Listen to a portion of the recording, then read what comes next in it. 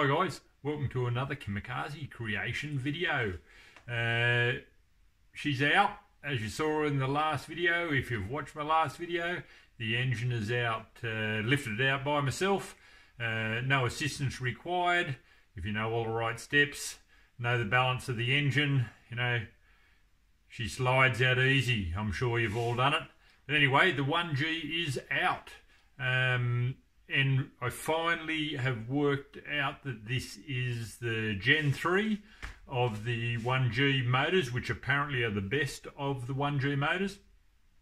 It, it doesn't make it any easier to get the parts, I don't think. I rang a company today uh, about um, single turbo uh, inlet manifolds. They're actually in Toowoomba Gobies or something like that. They're up in Toowoomba.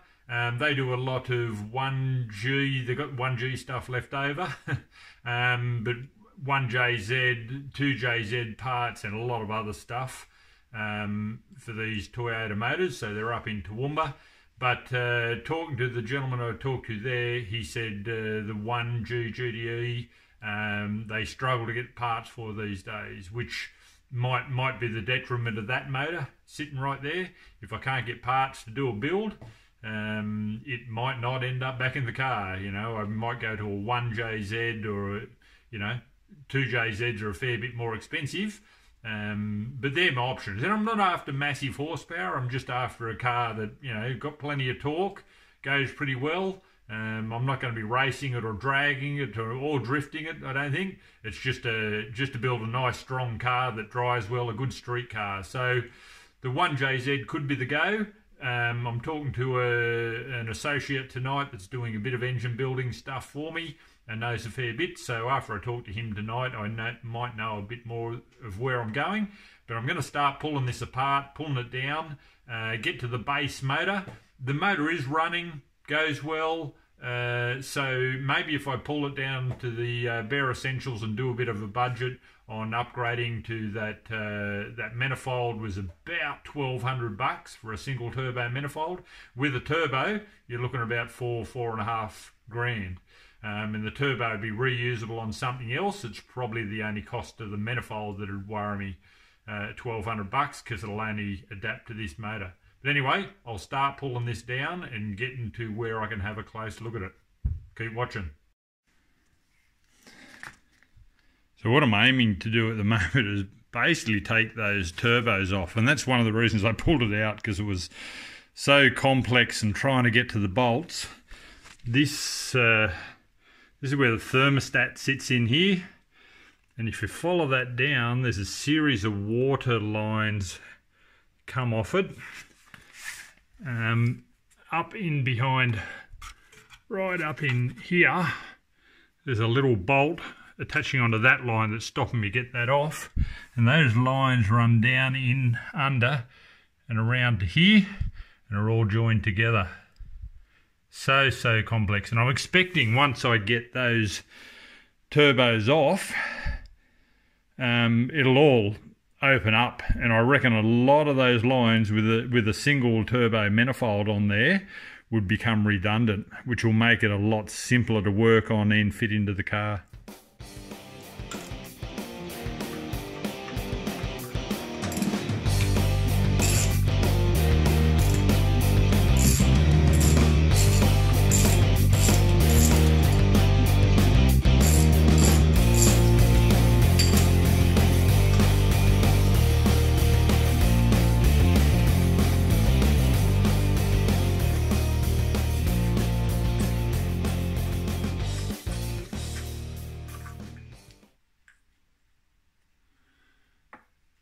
That's the O2 sensor that was sitting in the uh, exhaust manifold, which runs to the computer. It tells the computer how much, um, what the sort of air fuel ratio is, and allows the computer to adjust the uh, fuel delivery.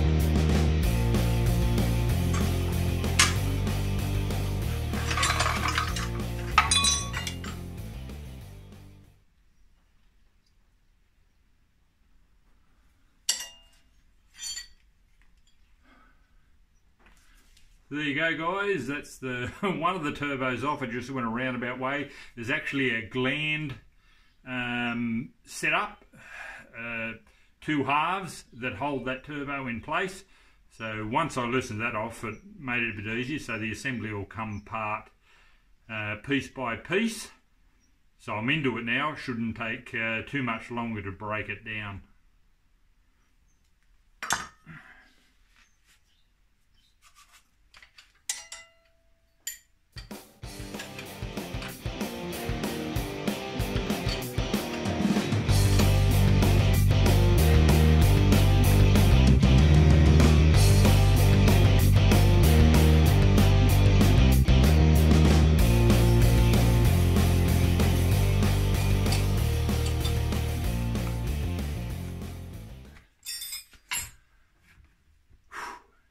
Been a long road, but I think I'm getting there. Watch this.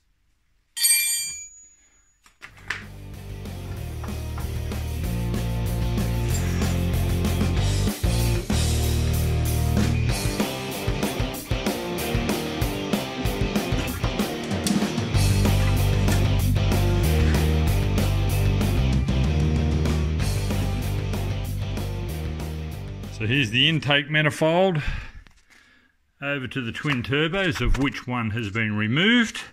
It's sitting over here.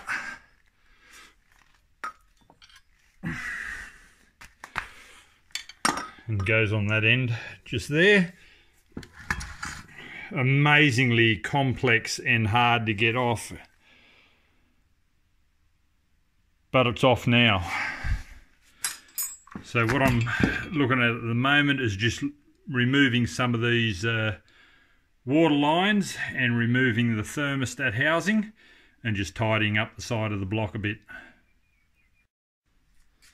So this is what I'm left with.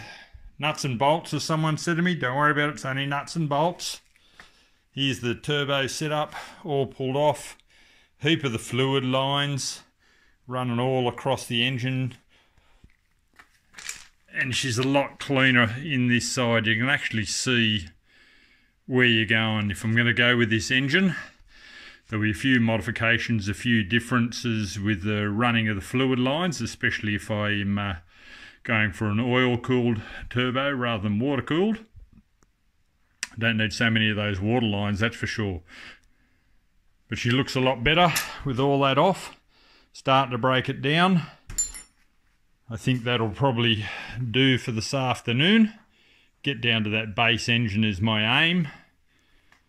Over this side, all the inlet side of it. And I've seen some custom inlet manifolds like uh, fabricated welded inlet manifolds for these that have been made up. So I'd be interested to know about them and what people have done with them but I'm going to break down that whole side of the motor and get down to the base unit. Um, as I said, it's a runner. It goes okay, and I've been told it's had a fair bit of work done to it. Whether it's bottom end work, I don't know. But once I get it down, I might take the sump off and have a look at the big ends. Again, being a uh, the, what what I saw on the Toy Mod site was the engine number for these for the um, uh, first and second version of these was around about cylinder number four, but on this one, it's down right below the starter motor, which is Gen 3 of the uh, 1G GTE motors. So this is a Gen 3 one, which apparently is the better one. I think they got an upgraded crank. I think they got rid of a few of those oil problems. So uh, if I can work the inlet single turbo and uh, exhaust setup out could be a feasibility of going back in. Anyway, that's it for me.